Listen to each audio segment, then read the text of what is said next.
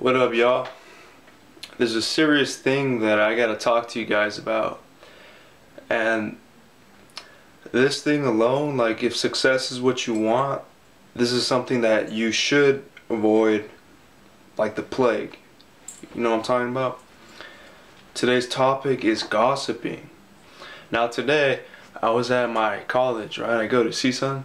I was at the financial aid office. And then I was there's like this huge line going on. It went like almost around the building, which is kind of ridiculous. But anyways, there's these two guys who were standing behind me in line, right?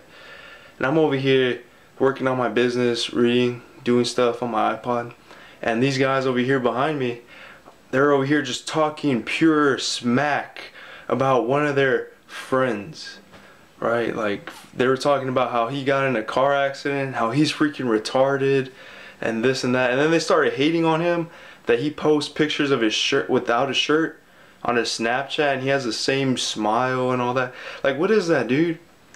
Like, have a conversation that'll be life enhancing. Have a conversation that'll benefit both you and the other person. Have a conversation that will benefit your guys' future. Right? Why do you guys, why do people in general, why do they focus on gossip? Like, what is that? All it really is in my perspective is cowardice. Like why why don't you say that to that person's face right? Why do you have to say it behind his back? For me whenever I, am around people and they they start gossiping I think of them as like little girls. Because like my little sister she's 14 years old and she tries gossiping with me and I'm like dude what is this? So when when people gossip especially men dude like grown men like this is ridiculous act like a man, bro. Like, as stereotypical as that sounds, don't gossip. Like, what is, what does that do for your life? What does that say about you and your character? Alright? Also, reason why you want to avoid it is like, if you gossip, and you, you talk gossip with some other person, guess what? That person's probably going to gossip about you behind your back. How's that going to feel? Right? Or that person might actually have some feelings towards the person you're gossiping about. So now you just made yourself an enemy. Even though they don't outwardly say it, they could resent you on the inside, right? So definitely avoid gossip as best you can. If not, I want you to unsubscribe. Just get out of here, man. These videos aren't for you, alright?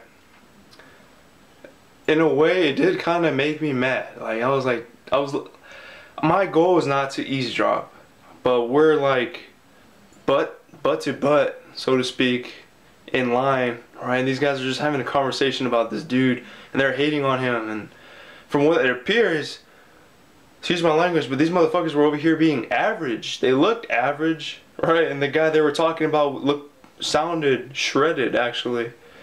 But they were just looking for different ways to hate.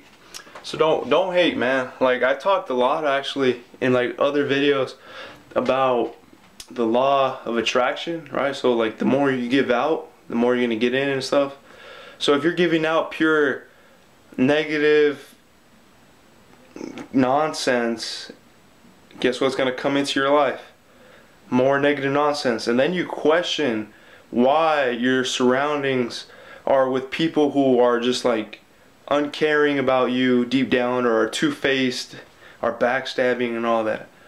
Just some thoughts, right? I mean, this is not your average 19 year old's YouTube channel, alright? If you care about my opinion, that's what's up. If you don't, can't can't help you much. But for those who have ears to hear, let them hear. Gossiping. Get rid of that, man. You don't need it.